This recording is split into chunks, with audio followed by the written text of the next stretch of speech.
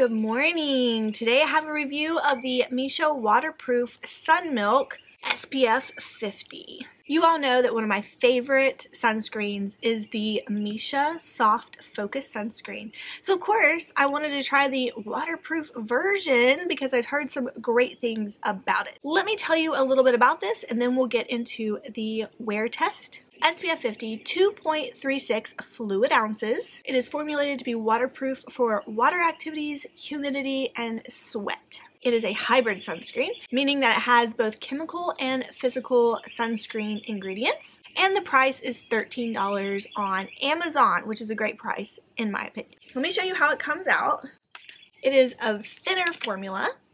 It's a little bit drippy. You can see it running down my hand there and it rubs in so nice and disappears into the skin. Look at that. In my opinion, if this has a white cast on darker skin, it is going to be very minimal because there's no white cast on my skin. Now for the wear test. Good morning. It's testing new sunscreen day. Today I'm testing out the Missha Waterproof SPF 50 Sun Milk.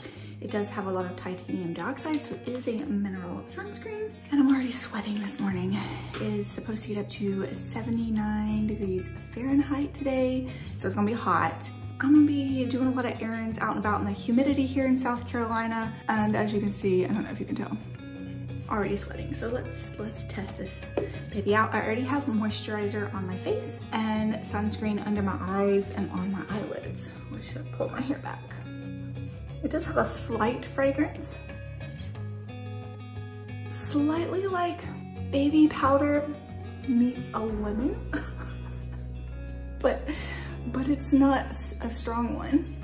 Mm, I would say this is, I just dropped it. I would say this is a mid-weight. Oh, I got sunscreen all over the floor. A mid-weight sunscreen.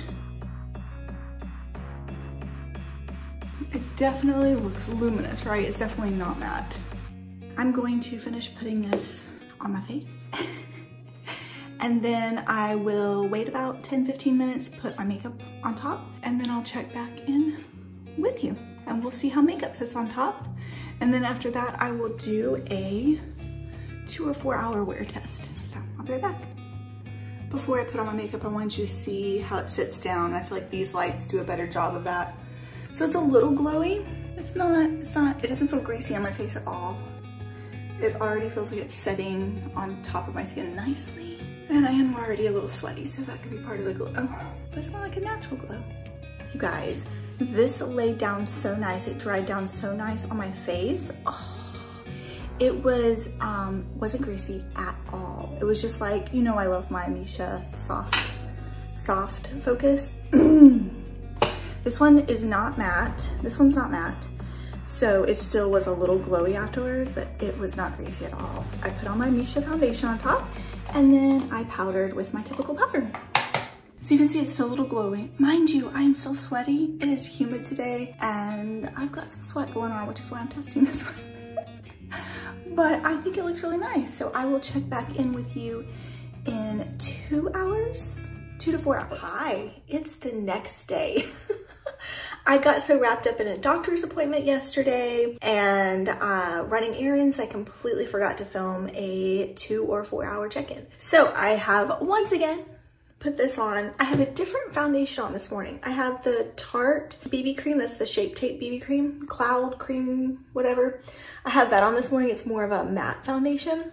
The sunscreen is working beautifully. We're getting ready to go walk around the block, my daughter and I, it's spring break. So it's humid here and I'll get a little sweaty and I'm also sick this morning. So I will check back in with you and let you know how this, how this wears in the humidity. But I think it looks great. I, my foundation is very light. See, it's already worn off my nose because I've been blowing my nose so much.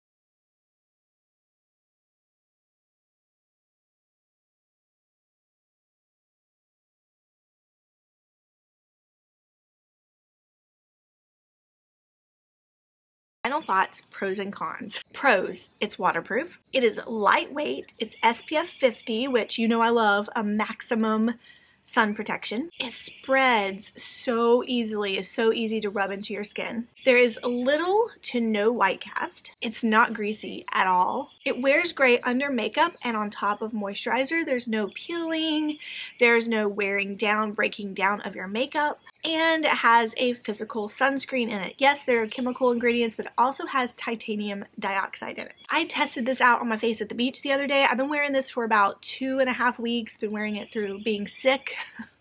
through humidity, through the heat here in South Carolina. It did great two hours on my face with the wind. It was a very windy day. I did not get in the water, but there was sand blasting at my face. It did fantastic.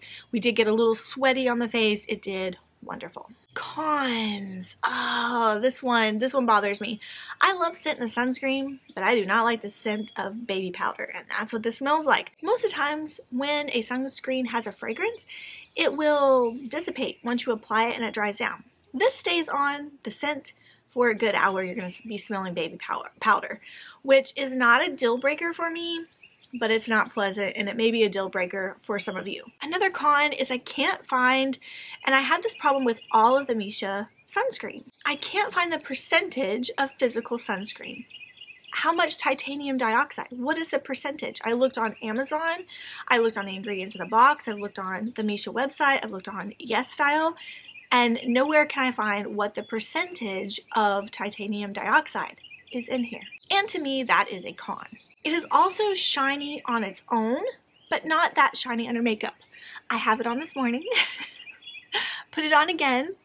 It's been about an hour and a half since I've had it on, and it's a little shiny, but it's not bad. But I did wear it on its own at the beach, did not put any foundation on top of it, and it didn't bother me. It did great. And a con is that, as you can see, after about an hour and a half, two hours, which I have been wearing this for a couple weeks now, it does pop through a matte foundation and matte powder. So that's a con Have you tried this out? What are your thoughts? Would you recommend it or would you pass? I'm going to keep enjoying and wearing this throughout the summer. Don't forget to reapply your sunscreen and subscribe to the channel before you leave.